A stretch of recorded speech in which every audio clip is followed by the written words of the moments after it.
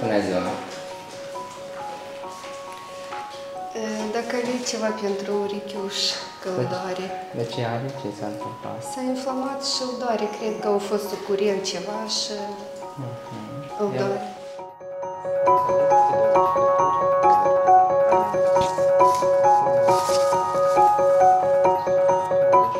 La început, când încă am fost la Centrul de Excelență Medicină și Farmacie Raisa Pacalo din Chișinău, aveam în gând să deschid o farmacie și în anul 2022, când eram în anul 2, studiilor într-o bancă comercială a apărut un proiect tineri antreprenori care finanțau, ajutau ca pentru tineri. Am făcut un business plan la care le-am prezentat, am câștigat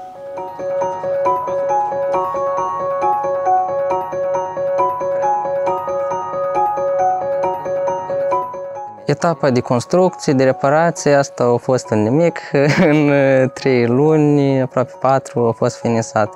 Însă, de a strânge documentele, asta a fost o mare bătaie de cap. Se făceau greșeli la un document cam de trei ore a fost, care se primit timp de o patru luni, se trimitea când venea iar cu greșeli. Trimitea iar cu greșeli. Și timp de patru luni, aproape cinci stăteam pe loc, nimic. În continuare nu putem face nimic.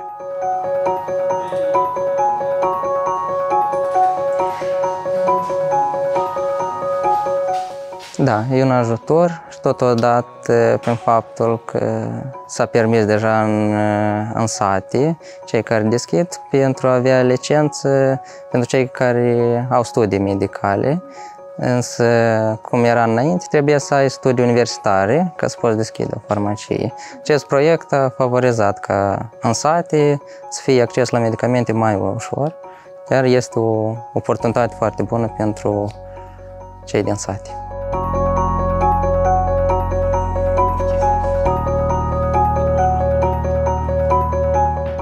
Последняя аптека у нас закрылась 8 лет тому назад.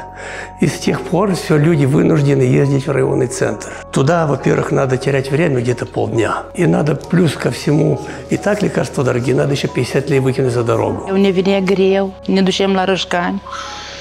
Tare ne era greu fără farmacie în sat. Acum mulțumesc că deschis farmacia asta, suntem fericiți.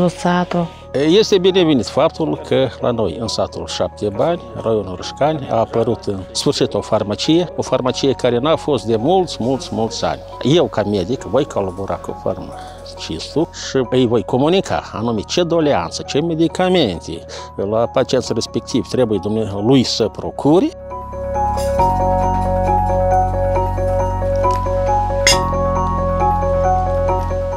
A fost greu, unii poate nu credeau în acest proiect, alții mă susțineau, însă foarte recunoscut sunt la părinții mei care foarte mult m-au ajutat